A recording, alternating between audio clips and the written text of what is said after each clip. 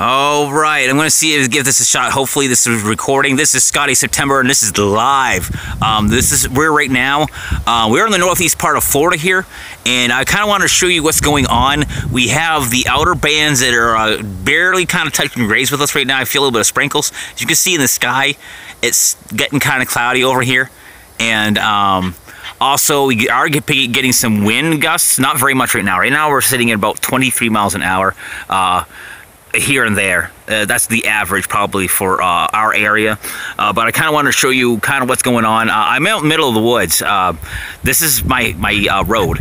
But I want to kind of show you what it looks like right now. So as of Monday, this is where we're at. It's not going to be hitting us majorly until Tuesday. But you can see, like, you got some blue skies over here and then we also got a lot of clouds. And uh, it has been kind of breezy off and on. It has been raining off and on. Right now we're sitting okay. Uh, the breeze actually feels pretty good after that Beat Saber video. So I just kind of want to give you an update of what's going on.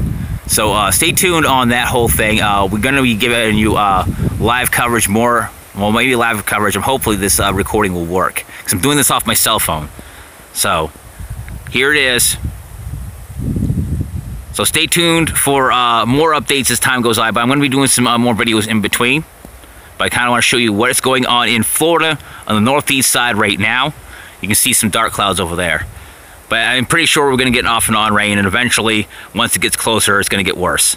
So I'll let you know what's going on.